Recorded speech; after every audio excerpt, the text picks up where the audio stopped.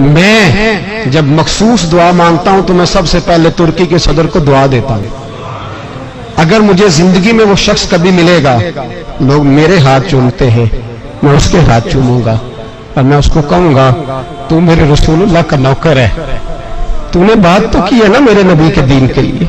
तूने कहा तो है ना कि ये जो गाजर मूली की तरह काटे जा रहे हैं, ये लवारस नहीं। वो तू बोला तो है